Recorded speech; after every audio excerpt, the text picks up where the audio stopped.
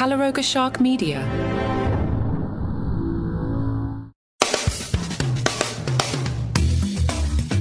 Hi, and welcome to Entertainment Daily, a short roundup of the top entertainment stories in today's news. Taylor Swift allegedly orchestrated Kanye West's removal from the Super Bowl after the rapper attempted to overshadow her on Sunday night, former NFL star Brandon Marshall has claimed. According to Marshall, Swift took action to have Kanye removed after he deliberately secured seats in front of hers at Las Vegas's Allegiant Stadium. Taylor, who passionately cheered on her boyfriend Travis and the Kansas City Chiefs to victory, was situated in a VIP box with celebrity companions Blake Lively, Ice Spice, and Lana Del Rey, alongside Kelce's family. Marshall, a retired NFL wide receiver, insinuated that Kanye strategically positioned himself in front of Taylor to potentially disrupt any footage of her during the game's broadcast. Kanye was trying to leverage her celebrity, Marshall stated on the I Am Athlete podcast. So Taylor Swift gets upset, she takes action, makes a call or two, everyone gets involved. He gets kicked out of the stadium. The source of Marshall's information is unclear, and there is no evidence to support his allegations. Additionally, the former NFL player initially confused Swift with fellow pop star Katy Perry when making his claims.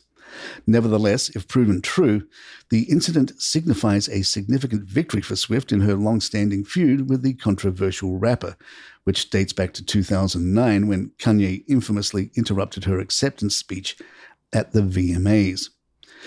Kanye was seen at the Super Bowl with his wife Bianca Censori on Sunday, although it remains unclear when he departed the stadium.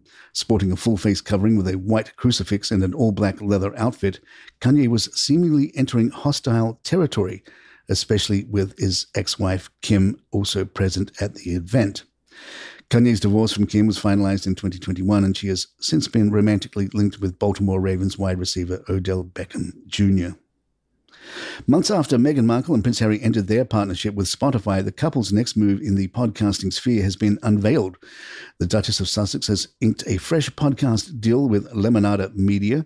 Following the initial report by Deadline on Tuesday, an announcement surfaced on the duo's new website.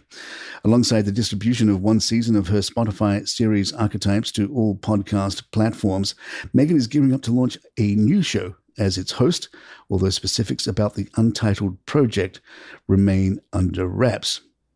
Meghan has broken her silence to defend the new Sussex.com site following a spate of criticism. Royal insiders told Mail Online that the website, created by Canadian agency Article, made no sense and created a blurred line between the past and the present as the couple were told to drop their Sussex title in 2020 after quitting as working royals. Responding to the criticism, Meghan said in a statement, There is a reason I have worked with Ryan and the talented team at Article for a decade. Their attention to detail, their creativity and care, and the thoughtful approach to design as well as to the user experience. They're not just designers, they are collaborators who elevate your ideas into visual identities. They're a very special company, plus they're Canadian, so I'm a fan. The website is operated by the Office of the Duke and Duchess of Sussex and is a one stop shop for all their activities. But there is no reference in their biographies about any of their links to the royal family, with Harry, who is fifth in line to the throne, described as a humanitarian, military veteran, mental health advocate, and environmental campaigner. More entertainment in just a moment. Jon Stewart's first show back as part time host of Comedy Central's late night flagship drew 930,000 viewers Monday, the most for a daily show installment in almost six years. With Stewart, who left the anchor desk in 2015, hitting familiar comic beats and an aggressive, if brief, marketing push behind his return. The Daily Show also recorded its best same day rating among adults 25 to 54 since August of 2017, and more than doubled the show's audience for both the final weeks of Noah's tenure and the series of guest hosts it featured in 2023. The final 10 weeks of Noah's term as host, after he announced he would depart, averaged about 416,000 nightly viewers. Stewart will host The Daily Show on Monday nights only through the presidential election in November. The show's team of correspondents will take over hosting duties on other nights with Jordan Klepper on deck for the remainder of the week. Dakota Johnson didn't let the blisteringly negative reviews for her new superhero movie, Madame Web, stop her from showing off another red hot ensemble for the film's Mexico City premiere on Tuesday. The 34 year old actress had been beset by a wave of critical pans for the film, which takes place in the Spider Man universe, with critics branding it an embarrassing mess and the worst comic book movie ever.